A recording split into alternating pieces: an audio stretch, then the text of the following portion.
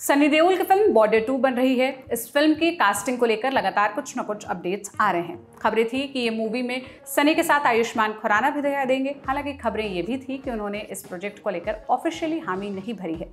ताज़ा जानकारी ये है कि आयुष्मान ने ये फ़िल्म छोड़ दी है। फ़िल्म में आयुष्मान अपने रोल को लेकर असमंजस में थे। यही उनके फ़िल्म को छोड़ने का कारण बताया जा रहा है। मिड ने सोर्स के हवाले से खबर छापी है। इसमें उन्होंने लिखा, मेकर्स ने बॉर्डर की सीक्वल में आयुष्मान को सोल्जर के रोल के लिए अप्रोच किया था। फ़िल्म पर साथ काम करने के लिए मेकर्स और आयुष्मान दोनों ही एक्साइटेड थे। फ़िल्म में सनी देओल लीड रोल में थे, मगर फिर आयुष्मान फ़िल्म में अपनी पोजीशन को लेकर श्योर नहीं थे।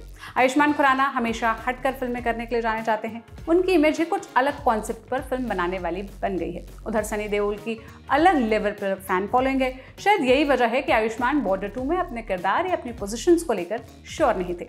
इसलिए उन्होंने फ़िल्म से अपना हाथ खींच लिया। हालाँकि इस पर कोई भी ऑफिशियल कन्फर्मेशन नहीं आया है।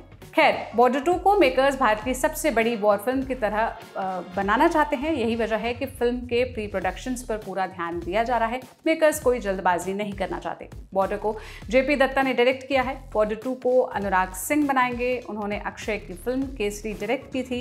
इसके अलावा वो पंजाब उन्नीस सौ चौरासी और जट एंड जूलियट जैसी पंजाबी फ़िल्में भी डायरेक्ट कर चुके हैं। कुछ मीडिया रिपोर्ट्स के मुताबिक बॉर्डर टू पिछले फ़िल्म का सीक्वल नहीं होगी, बल्कि ये उसी रात की कहानी होगी जिस रात युद्ध हुआ था। उस रात लोंगवेला की लड़ाई अकेले थल सेना ने नहीं लड़ी थी, बल्कि जल और वायु सेना ने भी लड़ी थी। बॉर्डर टू में इसे ही दिखाया जाएगा। खबरें यह है कि फ़िल्म का शूट इस साल के अंत में शुरू होगा। हालाँकि मेकर्स की तरफ़ से इस पर कोई ऑफिशियल जानकारी नहीं आई है। यह फ़िल्म 23 दिसंबर 2026 को सिनेमाघरों में रिलीज़ होगी। बॉर्डर टू के पहले आयुष्मान ने मेघना गुलजार की भी फ़िल्म छोड़ी है।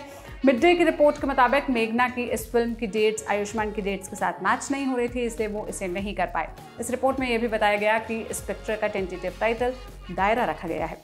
इस साल के अंत में ये फ्लोर पर आ जाएगी, पर इसी वक्त आयुष्मान का यूएस टूर भी है। रिपोर्ट्स के मुताबिक मेघना की फ़िल्म हैदराबाद में हुए रेप केस पर आधारित होगी।